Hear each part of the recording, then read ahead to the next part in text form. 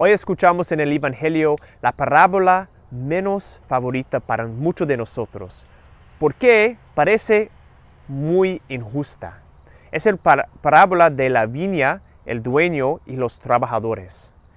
Y los trabajadores ah, trabajan por diferentes horarios en la viña y unos que trabajan solamente por una hora por la tarde.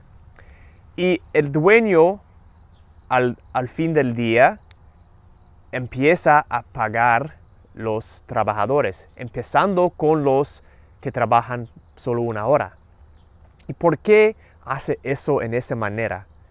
Porque él puede, podía uh, empezar con los que trabajan todo el día, pero él quería enseñarles algo.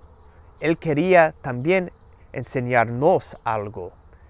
Quería demostrar la generosidad de Dios. La generosidad de Dios que es en una relación con Dios. Enseñándonos que el reino de los cielos, el pago, no se puede administrar por, ah, más en, en, porciones más grandes o más pequeñas. Y también no podemos trabajar más por el pago que recibimos. Es un regalo de Dios. Es un regalo de Dios. Dios no cuenta nuestros méritos, nuestros trabajos. Simplemente quería darse a sí mismo. El regalo más grande que no podemos ganar.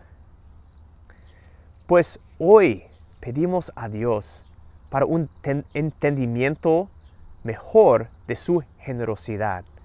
Su generosidad que es el regalo de una relación con Dios en el reino de los cielos. Pero también para, para creer más en nuestros corazones que Él quería dar todo de sí mismo. Que podemos demostrar su generosidad a los demás en nuestras vidas y dar la bienvenida a su viña, al reino de los cielos, que es el regalo de Dios para nosotros. Dios los bendiga.